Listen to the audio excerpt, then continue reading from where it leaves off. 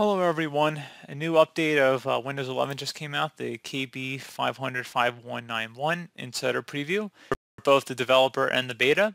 Just came out today, so you can see if you update your Windows 11, it should come in pretty quick.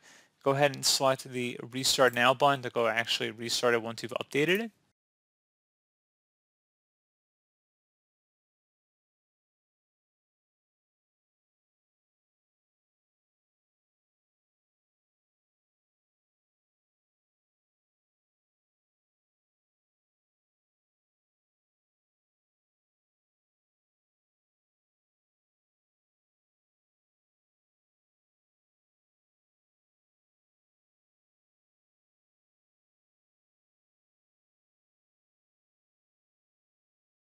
So while the system is restarting, I just want to let you guys know that the new update has a couple of changes, and this is coming directly from Microsoft here, that they are announcing that chat with Microsoft Teams now supports multiple languages, and they are also introducing the Microsoft 365 widget.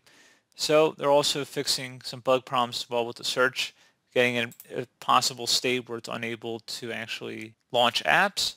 And I will have this up on the screen in the video as well. I'm going to go open up Chrome here. I'm going to go ahead and paste into the blog post here. So they're adding different languages, like I said, to Microsoft Teams. Fix some search issues here, as well as for settings and widgets. Known issues here as well.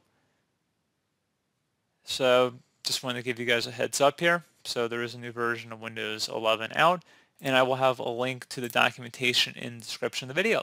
So thank you for watching, and I will catch you in the next tutorial. Goodbye.